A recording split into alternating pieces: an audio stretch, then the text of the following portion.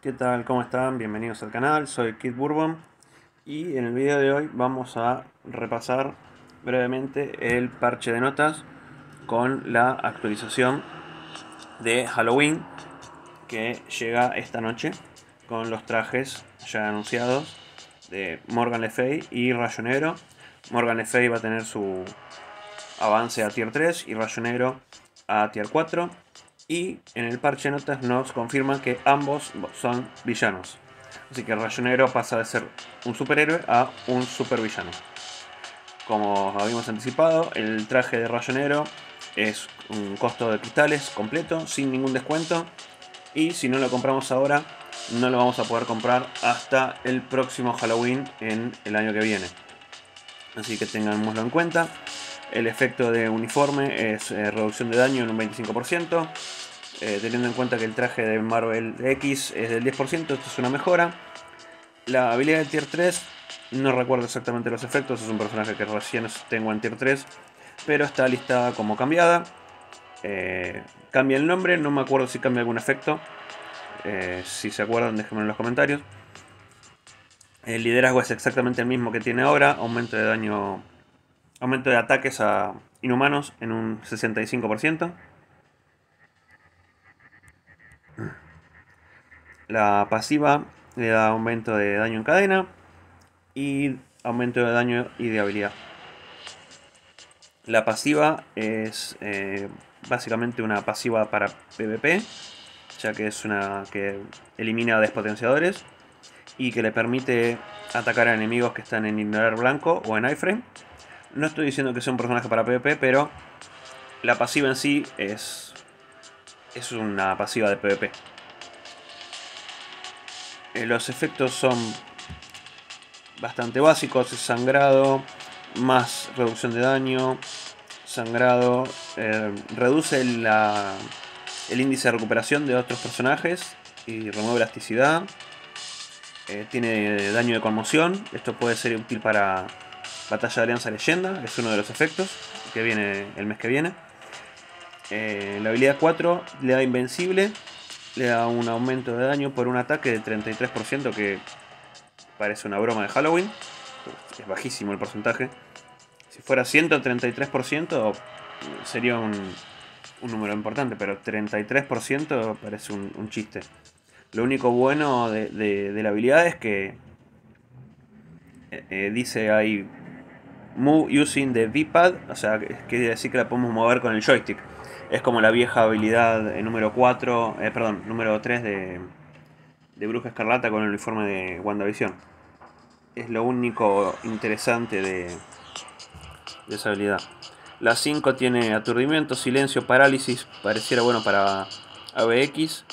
Tiene una curación del 15% y un aumento de ataques y defensas del 40%. No mucho más, habría que ver cuando lleguen las animaciones, a ver qué tal están. A ver también los porcentajes si, si mejora respecto a, a su traje anterior.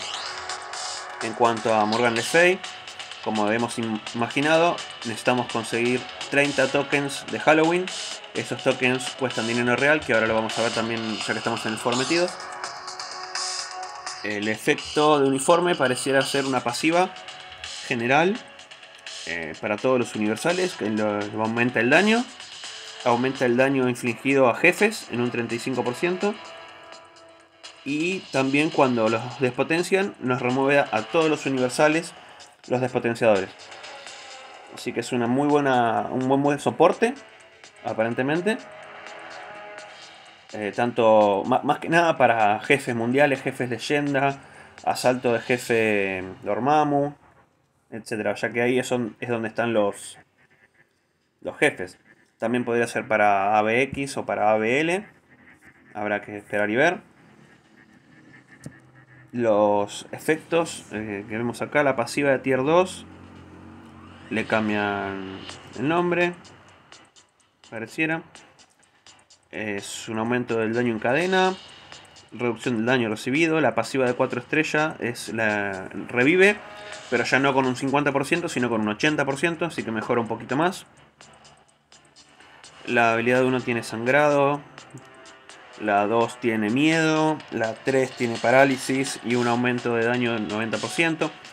Esto es un poco mejor que el de Rayo Negro, pero también es un, porcentaje bastante bajo para lo que estamos acostumbrados. Eh, puede ser que sea similar al aumento que tiene, por ejemplo, Antorcha Humana, pero no, no, no sé. No me parece que sea muy bueno. 90%. La habilidad número 4 tiene aturdimiento, curación del 20%, eso es algo que ya tiene. Esos porcentajes sean un poco mejores. Y la 5 tiene aturdimiento, parálisis, reducción de defensas hasta el 50% y la acumulación del 1%. Eso está bastante bien. Pero como digo, es un uniforme de paga. No sé qué tan bueno sea, habrá que esperar y ver cuando llegue al juego. Morgan F va a ser tier 3, no trascendido como había supuesto en el video anterior. La habilidad de tier 3 se ve bastante bien en la animación. La, la habilidad de tier 4 de, de Rayo Negro le da un aumento de ataque del 30% y un aumento del daño final en un 50%. No entiendo por qué están cambiando todo el tiempo las, las definiciones en, en el juego. Antes era daño auténtico, ahora es daño puro. Ahora acá me ponen daño final. No entiendo bien a qué se refiere. Los primeros que tengan el rayo en tier 4 seguramente me lo, me lo puedan aclarar. Tenemos dos artefactos nuevos, uno para cada personaje. El de rayo negro ignora la esquiva del enemigo y aumenta los ataques en un 20%. Muy tranquilo. Y el de Morgan Le Fay le aumenta el daño en un 25% cuando el enemigo tiene menos del 50% de vida. Es un artefacto ya visto, no parecen indispensables. Y lo más importante es que van a cambiar la inteligencia artificial de Gore cuando juegue en automático. Así que seguramente tengamos que hacer un nuevo video de Gore para ver qué tal es en PvP. A ver si en automático juega un poquito mejor y tiene más chances de, sobrevivir. Porque la realidad es que actualmente si no jugamos manual, eh, nuestro Gore pierde más de lo que gana. Eso es todo con el parche, pero también quiero mencionar, ya que estamos, porque espero que sea el reset para poder hablar de esto. Acá. En los nuevos eventos que tenemos en el juego es Pitch Black Halloween Celebration Event. Vemos más de cerca los modelos. Y en estos vamos a ver primero las opciones de uniforme de los personajes. No hace falta comprarlos para poder ver las opciones. Las opciones de rayo negro son Loki, eh, TVA, Barón Zemo, Cíclope, Marvel Now, que es un uniforme viejísimo. Es un uniforme espantosamente malo. Que yo no tengo. Así que es un uniforme muy muy mala. Pero después también tenemos eh, Bruja Escarlata de Doctor Strange 2, el nuevo uniforme de Wanda y el nuevo uniforme de Iron Fist. Son todas excelentes uniformes que la mayoría deberíamos tener, salvo el de Cíclope. El de Cíclope es una porquería, una basura. Y los uniformes de Morgan Fay es Spider-Man No Way Home, el rojo, Enano Negro, el uniforme más nuevo, uniforme eh, Gamora Requiem, eh, Hulkbuster 3099 y Sinister. Todos bastante buenos, salvo el hecho de que eh, el uniforme es pago. Bueno, no era esto lo que les quería decir. Bueno, tenemos un eh, bonificación por mejorar el personaje. No nos da cristales, nos da materiales de tier 2 y tier 3. bla bla bla.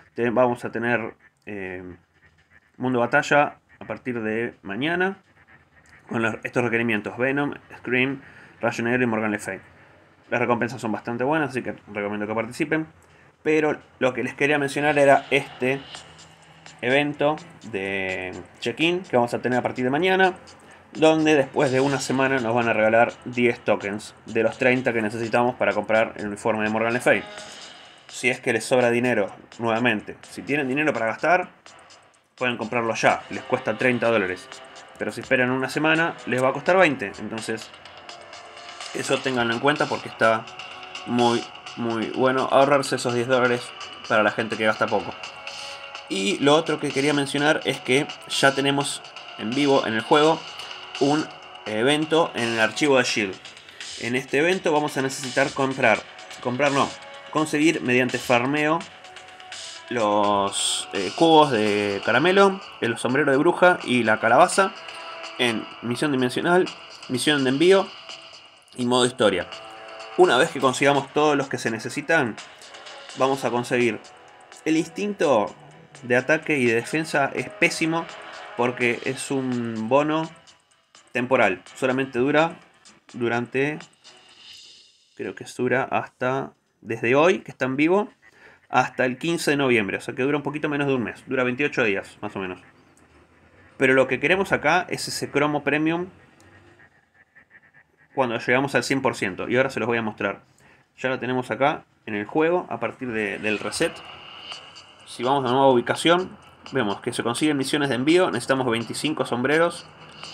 Necesitamos 20 calabazas, salen del modo historia. Y los sacos de caramelo los sacamos de misión dimensional y cuestan 20.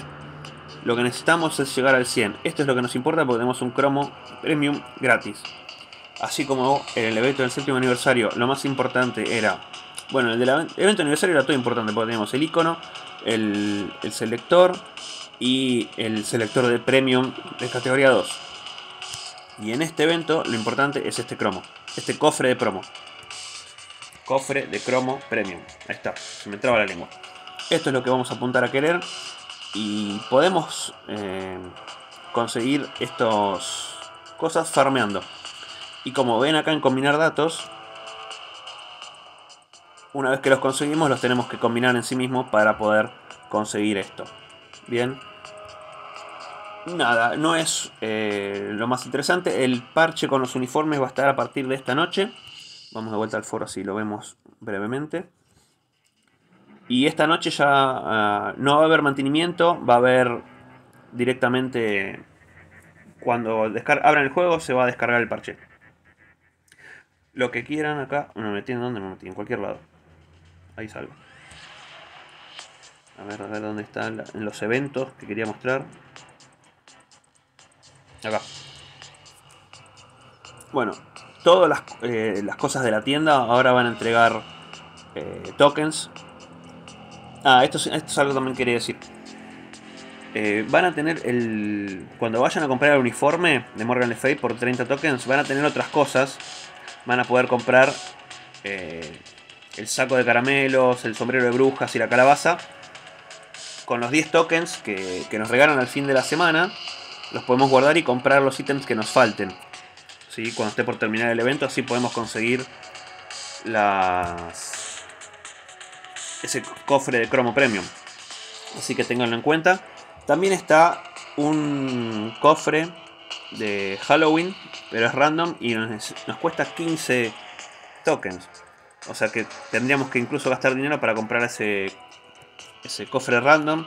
Y el cofre random nos puede tocar todo esto. O sea, ISOs, basuras, porquerías que se pueden farmear gratis en el juego. Lo único interesante es que te puede tocar un CTP o un cromo premium o incluso un artefacto de 4 o 5 estrellas. Pero la verdad no vale para nada el dinero. Yo me guardaría esos tokens los días que me regalan el fin de semana y comprar lo que me falte acá del, del sombrero de bruja, de la calabaza y del saco de caramelos para poder completar la colección. Misión dimensional, modo historia, es algo que deberíamos hacer todos los días en nuestro farmeo diario.